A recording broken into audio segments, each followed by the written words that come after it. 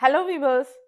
Power BI is a great platform which focuses on business intelligence that helps us in processing the data efficiently. In this video, I'll be demonstrating how we can create measures, use automated measures and write DAX queries in Power BI for data analysis. Subscribe to my channel to get alerts on my new videos related to Power BI. First of all, what is a measure? We have raw data with us from the source file.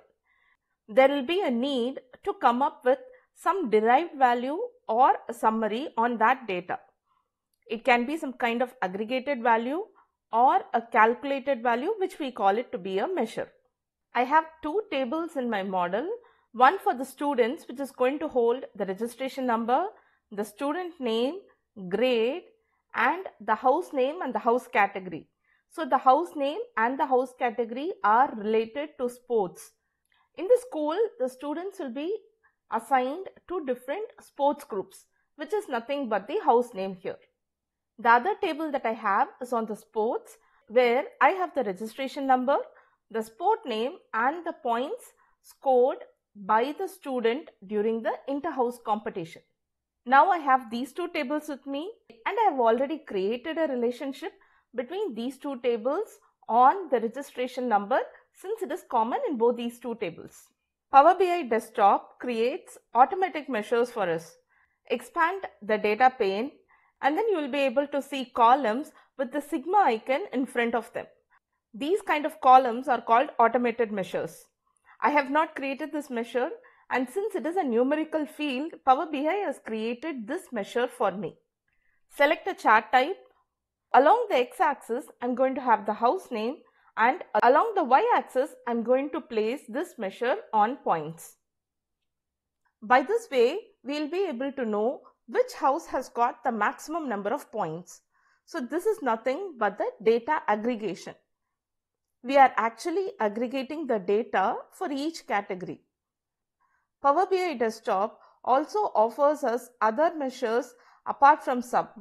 Click on the down arrow along the y-axis where you can see the other measures that are offered by Power BI which are the average, minimum, maximum, count, standard deviation. So you can choose whichever measure you want based on your project requirement. This is all about the automated measure. I have another requirement where I'll need to work on the student data. So in the x-axis, instead of house name, I have placed the student name there. My requirement is this. In the tooltip of each bar in the bar chart, in addition to displaying the student name and the sum of points, I also want to display the number of games played by the student and if the student is eligible for the sports captain position or not. And for this requirement, I'm going to create two measures. The first one is on the number of games played. Right click on df underscore sports and then click on new measure. My first measure is going to be on the number of sports or the games which are played by the student. So I'll give measure equal to the count of the sport. For easy reference, I cannot have measure as the name. So I'm going to rename it to number of games played. So you can see that the number of games played measure will appear in the df underscore sports table. Similarly, I'm going to create another measure which is going to tell me if the student is eligible for the sports captain position or not. For which I'm going to use this if condition which says the sum of points if it is greater than 2 then the student is eligible else the student is not eligible. And the name of this measure is going to be sports captain position. So now that we have got two measures here in df underscore sports, so we need these two measures to be displayed as a tooltip in each bar. So go to the tooltip section where you can drag and drop these two fields.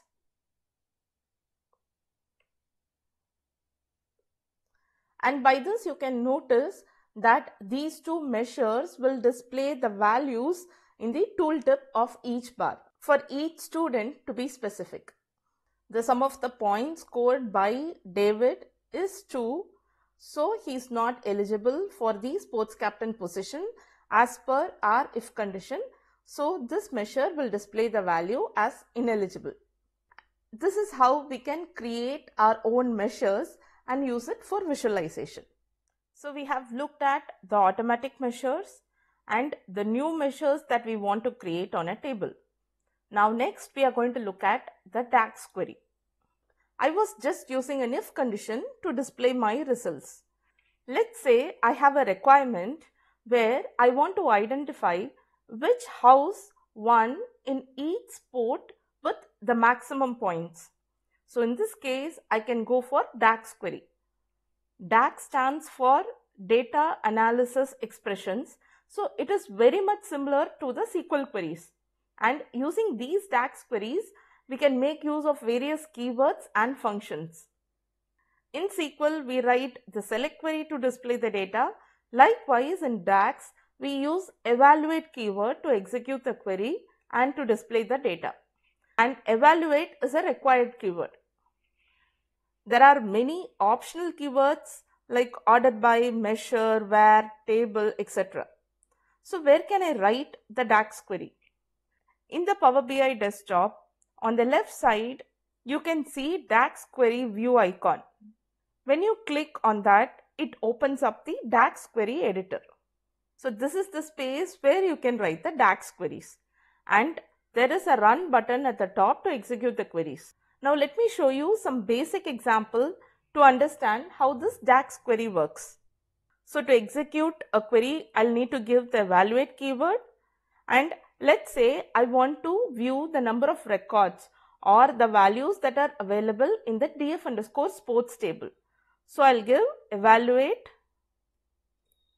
df underscore sports.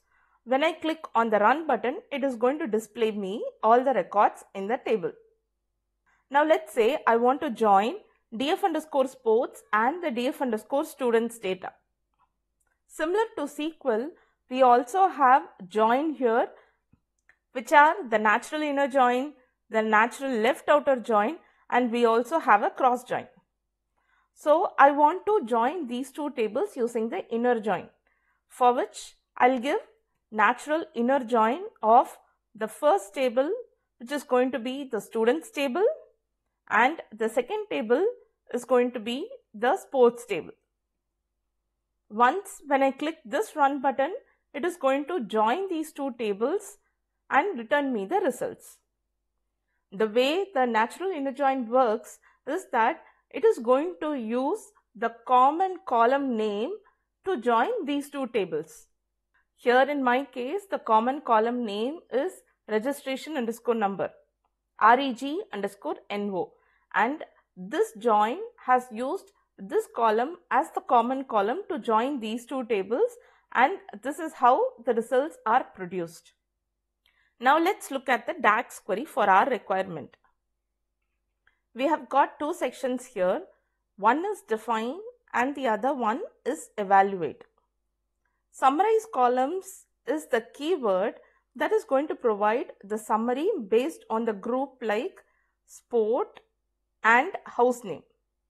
So what I'm trying to do here is that on the df underscore sports table, I'm first grouping by sport and then I'm grouping by the house name based on the data from the df underscore students table and then I'm getting the sum of points for each and every group and I'm storing this data in the points variable. So to view the result what I'll have to do is I'll give evaluate points which is going to display me this data which says in the chessboard the Blueberry House has got a total of 4 points and in the football sport, the Blueberry House has got a total of 1 point. Similarly, in the chess sport, the Orange House has got a total of 4 points and this is how we can read the data. My requirement is that in each sport, which house won with the maximum points. So let's consider this example where we have the chessboard. The blueberry house has got a total of 4 points and for the same chessboard the orange house has got 4 points. When it comes to other games like football, the blueberry house has got only 1 point whereas the orange house has got 2 points. So the orange house is the winner for the football sport. We have the points data here and we are going to group by the points data on the sport column and we are going to get the maximum points from the current group which is this particular points group and from that particular points group I am going to use the total points column to get the maximum point out of it. When I execute this DAX query, I will get 4 points for chess, 2 points for football, 2 points for shuttle. So, these are the maximum points for each sport. So, now that we have got the maximum point, we are now going to do a natural left outer join on the points and this particular data so that we will be able to get the sport, the house name as well as the maximum points. The total points is the one which is derived from the points data whereas the maximum points is the one which is derived by the group by. On the natural left outer join, I am going to apply a filter where I can specify the condition to retrieve the records and my filter condition is the total points equal to the maximum points and the records that match the total points and the maximum points will be displayed in my output window. On this filter data, I'm going to select only the required columns where I'm going to select the sport name, the house name followed by the maximum points. So once I execute this DAX query, I'll get the required data where for the chess chessboard Blueberry and Orange are in tie with a maximum of 4 points. For football, Orange House has got the maximum of 2 points. So, Orange House is the winner in football. For tennis, Orange House is again the winner with a maximum of 2 points. And for carom, Orange House is the winner with 5 points. And for shuttle, Blueberry is the winner with 2 points. So, this is going to be my final output that displays the house that bags the maximum points in each sport. Thank you for watching this video. Hope you understood how to create a measure and write a DAX query based on the project requirement. See you soon with my next video on Power BI.